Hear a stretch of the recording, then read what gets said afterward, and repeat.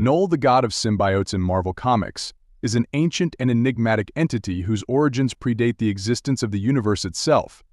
Emerging from the primordial darkness of the void, he possesses unparalleled mastery over darkness, wielding it as a weapon to further his insidious agenda.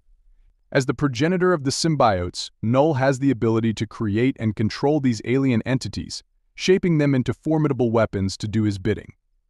Knull possesses cosmic awareness, allowing him to perceive threats to his dominion from across the universe.